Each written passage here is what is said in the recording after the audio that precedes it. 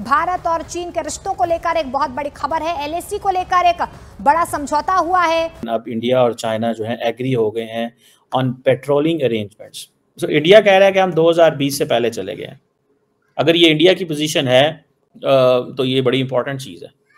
तो इससे ये बिल्कुल वाजे होता है कि एक लिहाज से हिंदुत्व की भी बड़ी कामयाबी हुई बीजेपी की भी बड़ी कामयाबी हुई। कैसे पावरफुल हो गया इंडिया? वहाँ पे तो हम सुनते हैं गुरबत बढ़िया तो क्या कहेंगे? कजान में कल भारतीय प्रधानमंत्री नरेंद्र मोदी के जाने से पहले भारत और चीन के बीच एक बड़ा एग्रीमेंट हुआ है पेट्रोलिंग को लेकर। चाइना के साथ आप लोगों की जो प्रॉब्लम है वो सॉल्व होती जा रही है और जो ट्रुप्स है वो भी एक तरह से वो निकलते जा रहे हैं। आप तो अपने हुक्मरानों को भी मैं ये बात समझाना चाह रहा हूँ। अब बात सुनो। अब तो खैर तुमसे तो हो ही कुछ नहीं रहा। सो so, इसमें आ, आ, है तो देखें इंडिया और चाइना दोनों के लिए बहुत ज़बरदस्त चीज़ है ये। इंडिया बड़ी देर से कह रहा था चाइना को कि रिस्टोर करो 2020 वाली सिचुएशन नाजरीन चाइना जंग नहीं करता होता। ये बात जो लोग हिस्ट्री को जानते हैं चाइना ने पिछले कई दहाइयों से जंगें नहीं लड़ी हैं। चाइना इकोनॉमी पे ज़ोर देता है वो पैसा कमाने पे ज़ोर देता है। मोदी 22 और 23 को रशिया जा रहे हैं ब्रिक्स के लिए। जैसा कि आप सब जानते हैं कि पाकिस्तान ने भी अप्लाई किया हुआ है ब्रिक्स के लिए तो क्या इंडिया इस बार पाकिस्तान को अलाउ करेगा कि पाकिस्तान भी ब्रिक्स का पार्ट हो? हेलो दोस्तों, स्वागत है आप सभी का ए चैनल पे। तो फ्रेंड्स आइए देखते हैं पाकिस्तानी मीडिया की लेटेस्ट वीडियो तो दोस्तों इस समय एक बहुत बड़ी खबर निकल के आ रही है कि भारत और चीन के बीच में एक बहुत बड़ा समझौता हुआ है बॉर्डर को लेकर के, जिसमें इंडिया और चाइना के बीच बॉर्डर पेट्रोलिंग को लेकर के। सहमति बनी है और बताया यह जा रहा है कि चाइना अग्री हो गया है। इंडिया चाइना बॉर्डर के बीच जो क्लैश हुआ था 2020 के बाद बॉर्डर को लेकर के, उसमें चाइना, इंडिया और चाइना बॉर्डर के 2020 वाली सिचुएशन को मानने के लिए तैयार हो गया है, जो कि कह सकते हैं भारत के लिए एक बहुत बड़ी कामयाबी है, क्योंकि पिछले पाँच सालों से भारत और चाइना के बीच में जो टॉक हो रहे थे, भारत यह लगातार मुद्दा उठा रहा था।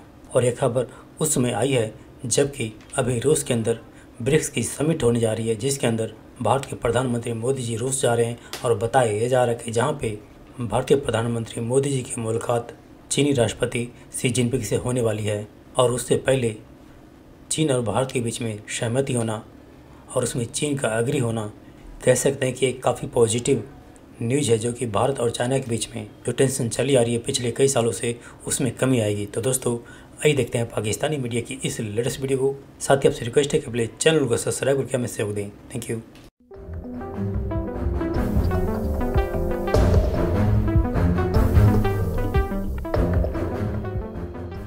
दोस्तों एक बड़ी डेवलपमेंट है। पिछले तकरीबन पाँच साल से भारत और चाइना जो है वो मुसलसल लगे हुए थे मामला को नॉर्मलाइज करने में लेकिन अब इंडिया और चाइना जो है एग्री हो गए हैं on patrolling arrangements so India कह रहा है कि हम 2020 से पहले चले गए ये वो कहते हैं ये ये ये इंडिया की पोजीशन है। अगर ये इंडिया की पोजीशन है uh, तो ये बड़ी इंपॉर्टेंट चीज़ है। ये बड़ी, उनके लिए बहुत बड़ी एक डेवलपमेंट है भैया। उस, इस वजह से कि इंडिया को अपने आप को, आपको पता है इंडिया ने पाकिस्तान के साथ जब सीज फायर किया था, क्यों किया था?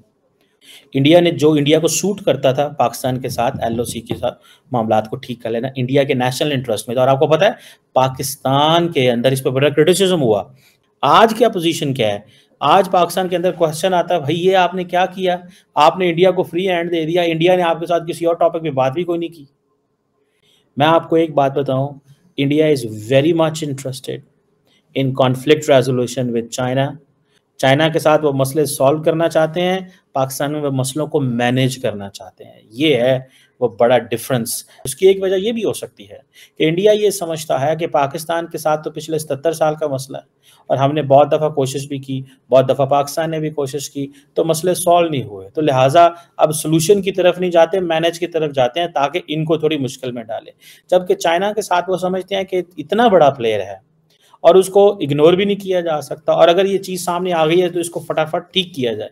लेकिन इतना को ठीक किया जाए कि इंडिया की जो रेलिवेंस है वेस्टर्न वर्ल्ड तक रहे। क्योंकि ये भी एक तासुर है कि इंडिया चाहता है पर्टिकुलरली अमेरिकन आज उसको सपोर्ट कर रहे हैं। वो इसलिए सपोर्ट कर रहे हैं बिकॉज़ इसका चाइना के साथ मसले हैं। बहरहाल इंडिया के जो फॉरेन सेक्रेटरी हैं विक्रम मिश्री साहब, उन्होंने आज मीडिया से ये बात की कि जो military standoff the line of actual control के ऊपर, उसमें पेट्रोलिंग अरेंजमेंट्स के हवाले से फैसला हो गया। वो जो इलाके हैं ना डेम चौक एंड डेपसोंग के वहाँ तक ये मिलिट्री पेट्रोलिंग हो गई। सो so, ये एक बड़ी डेवलपमेंट है and doctor Jaishankar calls it as a अपनी सक्सेस कहते हैं उसको।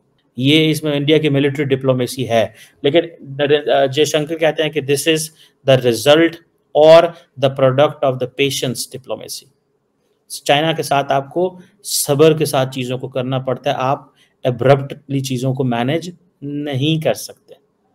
सो ये जो विक्रम मिश्री साहब ने ये चीज़ें की हैं प्राइम मिनिस्टर मोदी जो है, वो आपको पता ऑलरेडी रशिया के अंदर लाइकली पॉसिबिलिटी शी जिनपिंग से मिलेंगे अब देखते हैं कि नेक्स्ट स्टेप क्या लिए जाते हैं।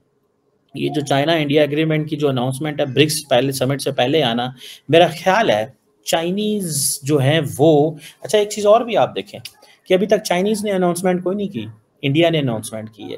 So the news is coming from India so it means India is more desperate India is more interested so मुझे ऐसे कई दफ़ा चाइना को देख के ऐसे भी लगता है कि जितने चाइना के कॉन्फ्लिक्ट हैं, भले वो साउथ चाइना सी में हो ईस्ट चाइना सी में हो जापान के साथ हो मंगोलिया रशिया दुनिया के इतने मुल्कों के साथ उनका आई थिंक तेरह मुल्कों के साथ उनके पता नहीं बॉर्डर लगते हैं। इतने ज़्यादा इंटरनेशनल बॉर्डर्स में इशू है। इंडिया को चाइना को तो फ़र्क ही नहीं पड़ता कि एक आधा कॉन्फ्लिक्ट बढ़ जाए या एक आधा कॉन्फ्लिक्ट कम हो जाए। ज़ाहिर बात है, हर मुल्क को थोड़ा सा कॉन्शियसली चीज़ों को देखना पड़ता है। इतना कोई आसान काम नहीं है चाइना के साथ चीज़ों करना। सो so, लेकिन ब्रिक्स की मीटिंग से पहले इंडिया की तरफ़ से बयान आना दैट टेल्स द स्टोरी कि ये दोनों मुल्कों के लीडरशिप की मुलाकात जो है वो होने वाली है।